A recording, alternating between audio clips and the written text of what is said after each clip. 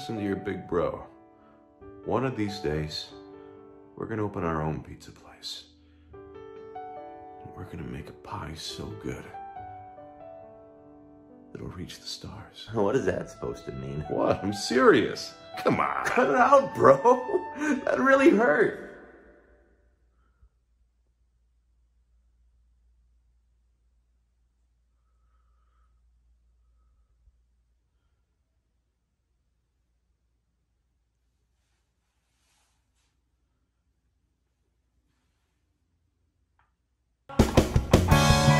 Pepperoni pizza pie, a flavor I just can't get right. The shop is only half alive without you baking by my side.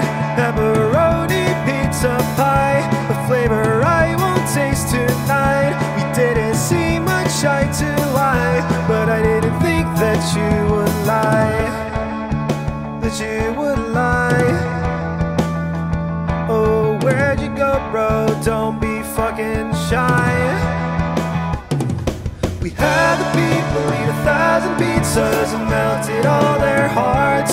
But after all the sauces and exotic toppings, still none of them reached your stars. But in my sky are all your pies, bro. Don't you see? I believe in the you that believes in cheese, cause a pizza you still lives inside of me.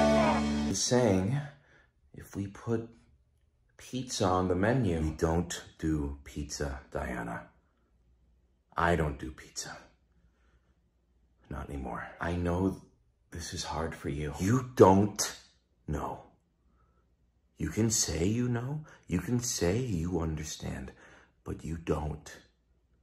You need to let this go. Your brother wouldn't want this. Don't tell me what my brother would have wanted.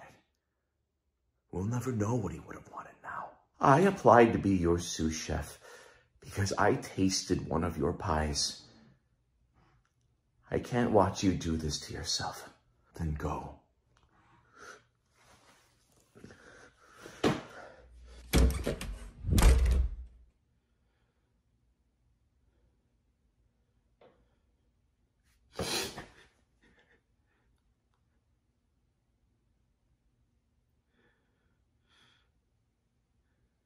Brother, I know now.